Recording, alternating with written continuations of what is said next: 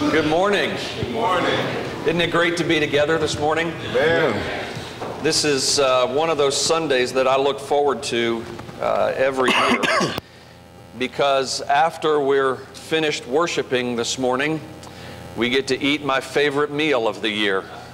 And so I hope you're all planning to stay for that and enjoy this meal together. And uh, I know there's a lot of food over there already. I could smell it. For you can probably smell it. And uh, so uh, I know you're all, you'll all be anxious for that, and it'll be good to, to share in that together this afternoon.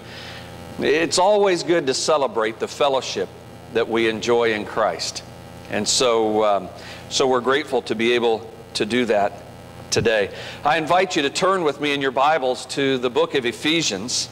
In Ephesians, specifically chapter 5, we've been working through this, looking at really a couple a couple different uh, points that Paul identifies here and, and, and a couple of the things that Paul really highlights in the life of the Christian, and that is uh, the blessings that we have in Christ, the life that we have in Christ, the unity that we have in Christ, and the walk that we have in Christ, and, and, and how that relates to one another in the church.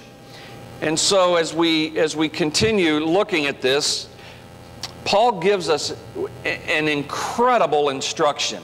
I don't know how many times you